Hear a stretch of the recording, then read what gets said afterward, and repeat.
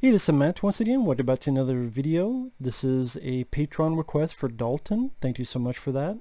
If anyone wants to request pretty much any type of video, review, movie topic, you either send the request directly to my PayPal or join my Patreon. Both links are down below in the info box. If not, no worries, but if so, thank you so much. Again, PayPal or Patreon, both links are down below in the info box to be for pretty much any type of video. And this is a different type where Dalton asked me to give my thoughts on a YouTube uh, series called Boots to Reboots. And then come to realize it's a guy reviewing movies. And I asked him, I left a message them, well, how am I supposed to do that? Never got an answer back. So I'm like, okay, I'll do my best. And this is a guy that plays a character that's a mentally ready for a psychiatric ward type of character. A lot of times wears bandages. A little bit of you know doing skits like Nostalgia Critic all these these guys who do these skits, and he'll talk about remake and whether it gets the boot or not. Good remake, bad remake. I haven't had a chance to watch all of his videos. And that's the thing with it's hard to give thoughts on a YouTube reviewer because just because they share a different opinion doesn't mean they're bad or wrong. We can have discussions. A lot of times I do like, well, I disagree because of this, or I agree, or I 100% disagree. I some people take that as offense. That's not my intention. It's to have a conversation. Anyway, that's hard to do in YouTube comments. Back in the day, we used to have messages you, that would help better, but that's the thing with YouTube comments or Facebook, whatever, you don't have inflection, tone, any of that with voices at all. I mean, I'm not big on people doing skits while doing a review. I'm just not. I mean, there are exceptions. For example, I like Cinema Snob, Brad Jones. I like James Rolfe, Angry Video Game Nerd. But, and I don't mind their skits sometimes. Although usually James Rolfe, like his review of Polybius, that was good. Some stuff like Touches Avenger, that was fucking awful. So it just depends. The stuff he did for Resident Evil Survivor was good. Stuff for what the fuck was that one with Gilbert Gottfried? I'm like, eh, I don't know about that. Uh, I'm talking about James Rolfe, and then again Brad Jones. So the stuff he was doing during his Bigfoot marathon that was fun.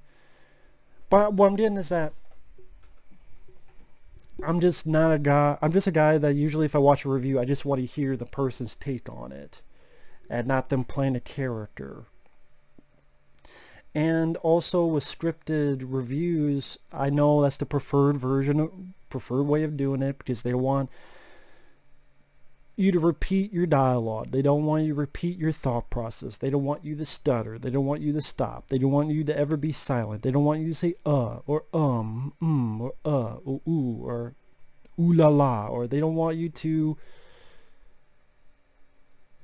cough. They don't want you to clear your voice. To me, I'm all for that because it's fucking reality. This is not a high-end production. I'm not a high-end guy. I just see, I mean, that's not to say one's better, one's worse. It's personal preference. And with skits, did I care about the guy's skits, this Boots to Reboots guy? Nah. Like in the the video I saw just now on his views on the Hitcher remake, he does this skit where he's being crazy during a car chase. Did I find it funny? No. Different strokes for different folks. To each their own. When you got to the review, I agree with a lot of it because I fucking despise the Hitcher remake as well. He talks about how one does not simply replace Rutger Hauer.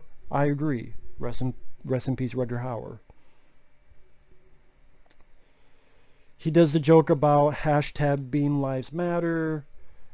I understand the joke. Sean Bean does die in a lot of movies, but he also lives in quite a few films too, whether it be Flight Plan, Silent Hill, Silent Hill Revelation, Soldiers of Fortune, and more so. But I did. He does die in a lot of movies, but he doesn't die in every movie. There's plenty of movies that he has lived in. But I did that. Some of the jokes, again, different people have different tastes. He does a joke where, of course, because it's copying the original, the remake also has Sean Bean going, say, I want to die. And then he has a joke is, I want to die is what Lee Jones says in the mirror every morning. I thought that was really shitty.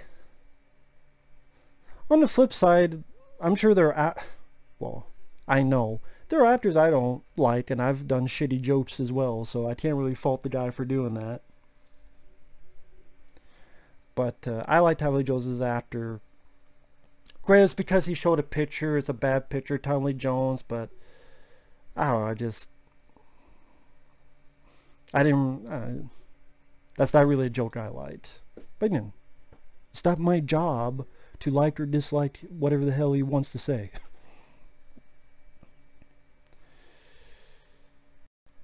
he says one compliment he can give the remake is it gives the female lead a larger role. To me,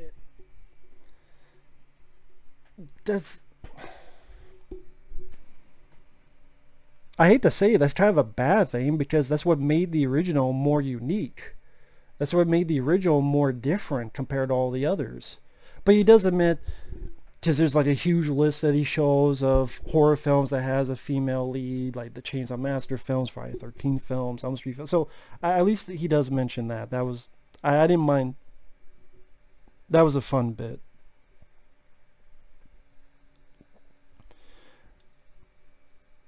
But it's almost like he was downplaying Jennifer Jason Leigh's role in the first one, in the original, and I thought it worked for what it was supposed to be. It worked well for what it was supposed to be. And I agree with him. He didn't like the film. He gave it the boot. He said it's just a carbon copy. I'm like, I agree. It's a carbon copy.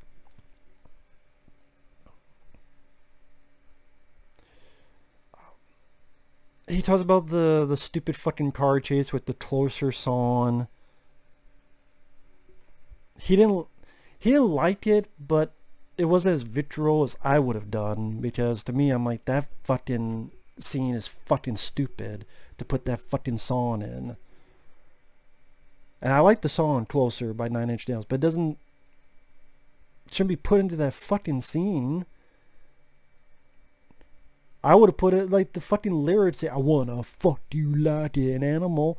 Yeah, during a car chase scene, that's the lyrics we should be hearing. I wanna fuck you like what is Herbie the fucking car gonna come by and then that his car is gonna turn to the car from their car for Josh Brolin and then try to fuck Herbie in the ass? And then that's where it go foot or maybe it's going to be like that David Cronenberg film Crash where he's going to get a car crash and then he's going to fuck someone and then they got hot because they got in a car crashes. So then those lyrics maybe will fucking pertain to what is going on screen. Anyway he's done a lot of reboots. Uh, the other one I saw was the Charlie the Chocolate Factory because that's an upcoming review I'm doing And he put the boot to that, and I agree. It's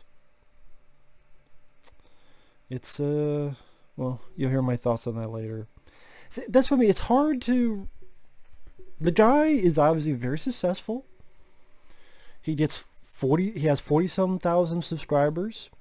When he uploads a video, there's a lot of technique, editing, and when he puts up a video, he'll get like hundred comments.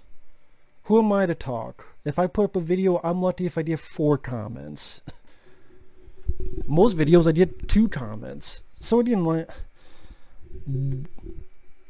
what right do I have? Let's be honest, this is no bullshit. What right do I have to say anything about it? You throw a rock, you'll hit someone who has a much better constructed videos with editing, production value, microphones. They upload a video, it gets 10,000 hits, and they get like 50, 60 comments. Again, I'm lucky if I get three comments, four comments, if that. Uh, usually they're the same people. I appreciate that. And let's be honest, number one, the world is going to shit. Number two, they got a lot more important things to do than watch my videos. Number three, I'm not that good. Number four, they got more important shit to do. Number five, I upload a lot of videos because I have to. I just have a lot of stuff to get to. I get a lot of requests because of the Patreon PayPal and I don't want to keep people waiting so then I upload a bunch per day. So a lot of stuff get lost. And number six, I'm not that good. I'm not finessed. I don't edit. I repeat the same thing over and over again. I get that. And I don't have the most popular opinions. So, back to Boots to Reboots, he found something successful, played a character that people like, having bandages and such. Well constructed editing wise and uh, overall, his video on the Hitcher remake, I agree with a lot of his thoughts. Again, I'm not big into skits. Once the Blue Moon, I, back in the day, I did skits. I beat up a fucking moon, a rock for Apollo 18. I got pissed off when I saw the Thing prequel and beat the shit out of this cardboard that had a Used to have a poster in it. Anyway. He does fine and he's obviously very successful. And I, that's what I mean. I that's why I messaged Dalton like I don't know what you really want me to say about it, but hey, if you like to hear people talk about reboots and I did not see all of them, so I don't know his thoughts on the others. There might be films I disagree with. Just there are, there are remakes I enjoy. I love the Hills Have Eyes remake. I don't think he liked Child's Play remake. I did. I could be wrong on that. I, I did not see his video couldn't on that. Just time-wise. Couldn't see all of his videos, but hey. Uh, good job, man keep doing what you're doing. You're successful. People like what you do. And like I said, I agree with a lot of his points on the Hitcher reboot. I would say I would not follow the guy and watch his other videos. And yeah, just the, the character and the bandages and the skits, just not for me. A cup of tea. But again, when it's stuck to just the review, I thought it was the, the better portion of it. That's just me. With that said, I don't, hope this was alright, Dalton. Thanks for watching. Take care. We'll see you guys later. Bye-bye.